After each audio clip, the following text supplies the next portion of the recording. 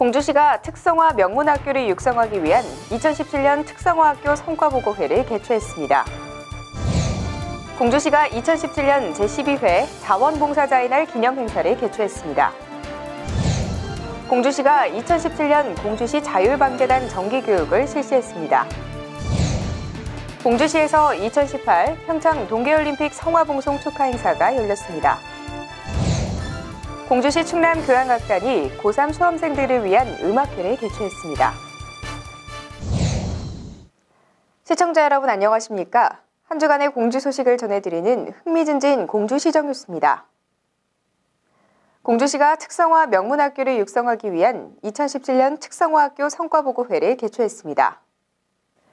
지난 6일 고마아트센터에서 학교 관계자 및 학생 등 200여 명이 참석한 가운데 6개 학교가 특성화 명문학교 육성을 위해 타 학교와 차별화된 운영 과정과 성과를 발표하는 자리를 가졌습니다.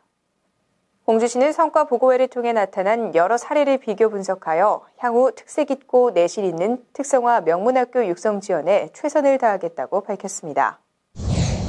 공주시가 자원봉사자들의 도구에 감사를 전하는 제12회 자원봉사자의 날 기념 행사를 개최했습니다. 지난 7일 국립공주박물관에서 열린 이번 행사에는 봉사단체 및 자원봉사자 250여 명이 참석해 나눔과 봉사로 노력한 한 해의 결실을 맺는 뜻깊은 자리였습니다. 이날 행사에는 그간 적극적이고 헌신적으로 봉사에 참여한 자원봉사자를 위해 유공자 표창 및 인증패가 수여됐습니다. 공주시가 자율방재단의 역량 강화를 위한 2017년 공주시 자율방재단 정기교육을 실시했습니다. 지난 5일 고마 아트센터에서 열린 이번 행사는 자율방재단원 200여 명이 참석한 가운데 자연재해에 대한 자율방재단 임무의 중요성을 교육하고 자긍심을 고취하기 위해 마련됐습니다. 이날 행사에는 단원들의 노고와 봉사정신을 격려하며 지역 안전발전에 이바지한 모범 시민 23명이 표창을 받았습니다. 공주시에서 2018 평창 동계올림픽 성화봉송 축하 행사가 열렸습니다.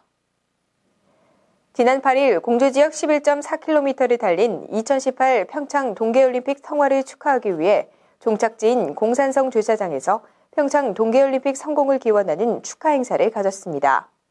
이날 행사는 공주의 열림, 환영의 노래, 영원의 춤이라는 주제로 다채로운 공연과 함께 행사장의 성화에 점화하며 축하 행사에 대미를 장식했습니다. 공주시 충남교향악단이 고3 수험생들을 위한 음악회를 개최했습니다.